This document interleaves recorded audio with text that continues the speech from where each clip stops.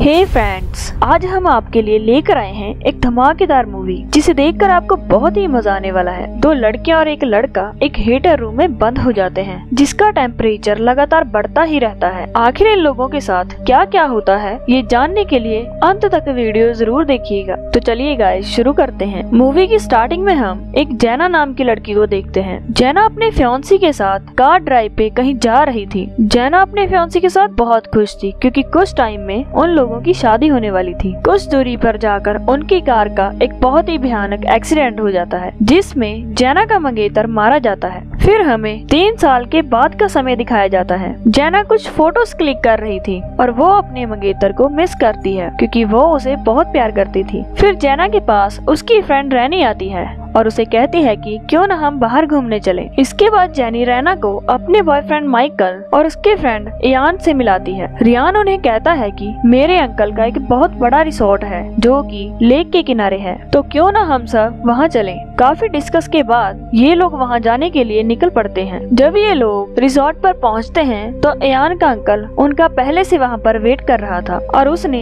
पूरी पार्टी की तैयारी कर रखी थी। दरअसल ये पार्टी दारू की पार्टी थी और वो सबको दारू ऑफ़र करता है। लेकिन जैना ड्रिंक करने से मना कर देती है और अंदर चली जाती है।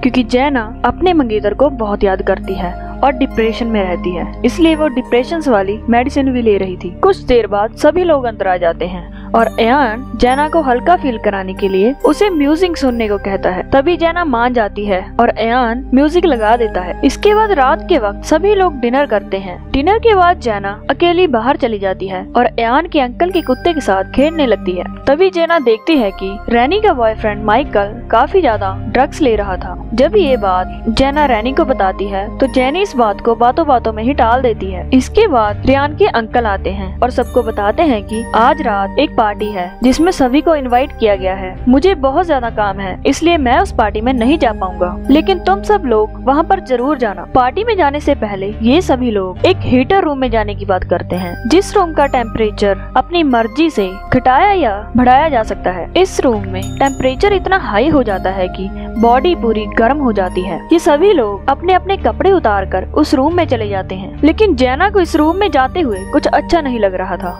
क्योंकि वो अपने फ्योन्सी को बहुत मिस कर रही थी। इसलिए वो यहाँ पर बिल्कुल भी इंजॉय नहीं कर पा रही थी। तभी अयान उसे रूम के अंदर आने को कहता है। तभी जैना पानी कुछ बॉटल्स लेकर रूम के अंदर चली जाती है। फिर ये चारों रूम के अंदर काफ़ी इंजॉय करते हैं। जब इनकी बॉडी पूरी तरह से गर्म हो जाती है तो ये डिसाइड करते हैं कि क्यों ना लेक पर जाकर नहाया जाए। तभी ये सभी लोग लेक में नहाने चले जाते हैं और फिर नहा कर वापस से हीटर रूम में आ जाते हैं। यहाँ पर माइकल और यान काफ़ी ज़्यादा ड्रिंक कर लेते हैं। रूम में इनकी बॉडी फिर से गर्म हो जाती है और ये फिर से लेक पर नहाने चले जाते हैं। इस बार जब ये नहा कर आते हैं तो जैना तो रूम के अंदर चली जाती है, लेकिन माइकल अपनी गर्लफ्रेंड रैनी को रोक लेता है। वो उसे कहता है कि, क्यों ना हम दोनों ऊपर रूम में जाकर मस्ती करें? तभी रैनी उसे कहती है कि, तुमने बहुत ज़्यादा पी ली है, इसलिए तुम्हारा बहुत ज़्यादा दिमाग खराब हो गया है। और ये कहकर वो रूम के अंदर चली जाती है। तभी माइकल रूम के अंदर नहीं आता। ये तीनों ही रूम के अंदर थे। तभी इन तीनों को एक आवाज़ सुनाई देती है। यहाँ माइकल से एक ऐसी गलती होती है, जिसकी सजा अब इन तीनों को मिलने वाली थी। जब ये तीनों दरवाजे पर जाकर चेक करते हैं तो दरवाज़ा नहीं खुलता।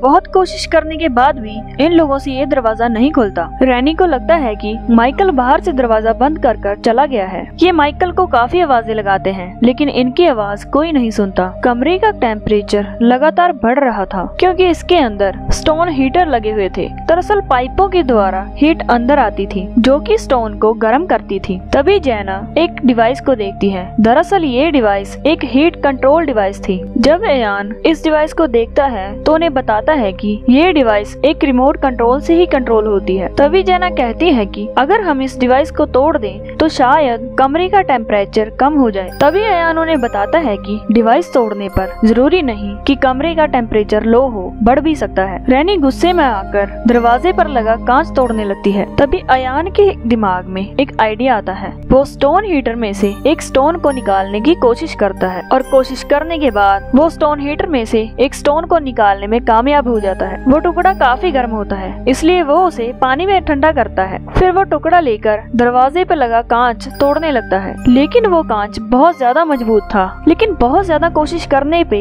वो कांच टूट जाता है। कमरे का टेम्परेचर ज़्यादा होने के कारण ये लोग कमरे में सांस भी नहीं ले पा रहे थे। इसलिए कांच टूटने के बाद इन लोगों को सांस लेने में आसानी होती है। फिर वो माइकल को आवाज़ लगाते हैं। लेकिन वहाँ पर माइकल नहीं था, क्योंकि माइकल पार्टी में जा चुका था। और फिर उन्हें दरवाज़ा बंद होने की वजह पता चलती है। बाहर देखने पर उन्हें पता चलता है कि एक लेडर, जो कि दरवाजे से अटक गई है, जिसकी वजह से दरवाज़ा नहीं खुल रहा था। अब ये लोग बहुत ज़्यादा परेशान हो गए थे और दरवाज़ा खोलने के बारे में ही सोच रहे थे। फिर रैनी अयान से कहती है कि क्यों ना स्टोन हीटर को तोड़ दिया जाए, जिससे हीट आनी बंद हो जाए और पूरा कमरा ठंडा हो जाए। तभी अयान कहता है कि ऐसा करने से यहाँ पर बहुत बड़ा धमाका होगा, जिसकी वजह से हम सभी मारे जाएँगे। इसके बाद रैना उस डिवाइस को तोड़ने की बात करती है, लेकिन अयान और जैना उसे मना कर देते हैं। फिर अयान के दिमाग में एक आइडिया आता है। कमरे में लगे एक बल्ब के द्वारा अगर शॉर्ट सर्किट कर दिया जाए तो कमरे में इलेक्ट्रिसिटी आनी बंद हो जाएगी, और इसी से हीट आनी बंद भी हो सकती है। अब अयान उस बल्ब को उतार कर शॉर्ट सर्किट करने की कोशिश करता है, लेकिन अयान पूरा भीगा होता है, जिस वजह से उसे करंट लग जाता है और वो नीचे गिरकर बेहोश हो जाता है। कुछ देर बाद अयान को होश आ जाता है। अब ये तीनों बैठकर बातें कर रहे थे कि अचानक से अंकल के कुत्ते के भौंकने की आवाज़ सुनाई देती है। जब ये दरवाजे पर आकर आवाज़ लगाते हैं तो कुत्ता इनकी आवाज़ को सुन लेता है और ज़ोर ज़ोर से भौंकने लगता है और तभी माइकल भी वहाँ पर आ जाता है। इससे पहले माइकल उन लोगों की आवाज़ सुनता।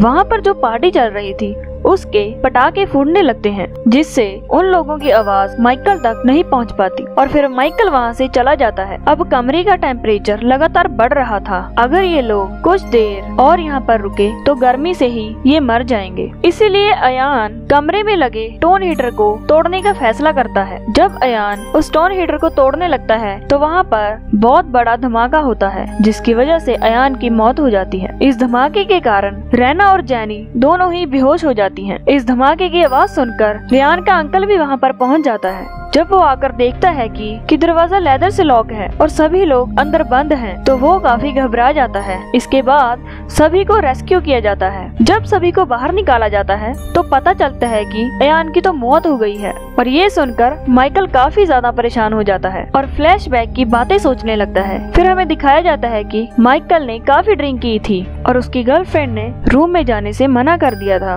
जिस वजह से माइकल बहुत गुस्से में था। बहुत ज़्यादा ड्रिंक करने से वो होश में नहीं होता। इसलिए उसकी एक छोटी सी गलती के कारण लेदर दरवाजे से टकरा जाती है और दरवाज़ा ब्लॉक हो जाता है और उसकी वजह से सभी लोग रूम में बंद हो जाते हैं। माइकल यही सोच सोच कर बहुत ज़्यादा परेशान हो जाता है। अयान की एक गलती के कारण उसका दोस्त उसे हमेशा के लिए छोड़कर जा चुका था। यहाँ पे माइकल यही सोचता है कि अगर वो होश में होता तो उससे ये गलती कभी नहीं होती और उसका दोस्त अयान उसके साथ होता और इसी के साथ ये मूवी यहीं पर खत्म हो जाती है, जिसके बारे में आपकी क्या राय बनती है, मुझे कमेंट कर कर ज़रूर बताइएगा। साथ ही वीडियो को लाइक शेयर और हमारे चैनल को सब्सक्राइब करना मत भूलिएगा।